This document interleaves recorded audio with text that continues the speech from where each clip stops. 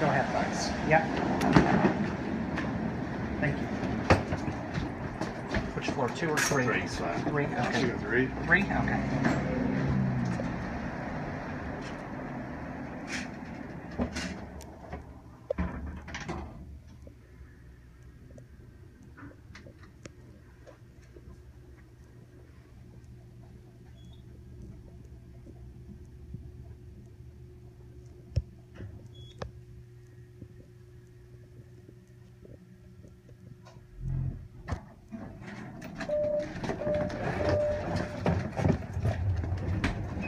Vintage elevator at the Best Western Santa Barbara, California. It's from 1967, and I think it's a Westinghouse.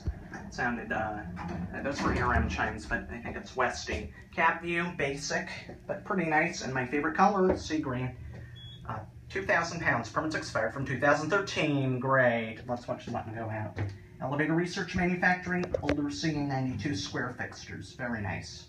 And we'll get out here and end the video, because my video is going to be almost three minutes long. Nice relays.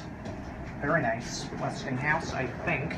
There's your, uh, oh no, Montgomery. It's a Montgomery. There's your Montgomery dormer lock. Oh yeah, those are Montgomery rails. It's a vintage Montgomery. That's cool.